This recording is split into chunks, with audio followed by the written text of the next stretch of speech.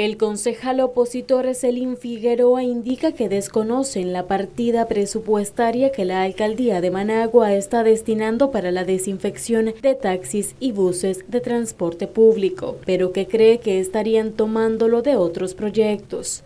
La administración de la alcaldía de Managua eh, admite que hay un problema o una eh, amenaza de la pandemia del COVID-19 y lo vemos con estas medidas que ha implementado, por ejemplo, la desinfección en los mercados, hemos visto que lo han hecho en los taxis, eh, y, otras medidas como por ejemplo la última reunión que tuvimos en el Consejo, eh, implementaron las medidas de las mascarillas y todo eh, esto, esto de, prevenir el tema del contagio.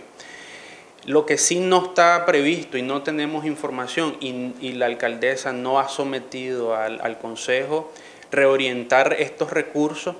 Eh, a mi juicio todavía no sabemos de dónde los está sacando.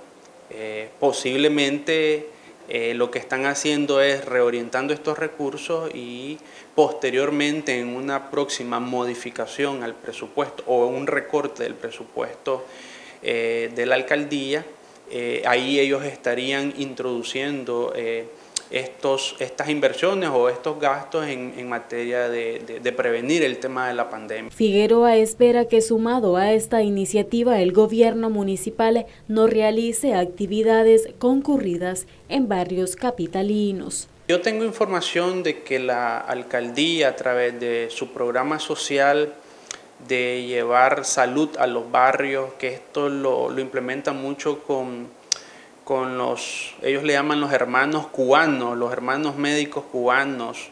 Hay una partida para este tema de, llevar cobertura de, salud.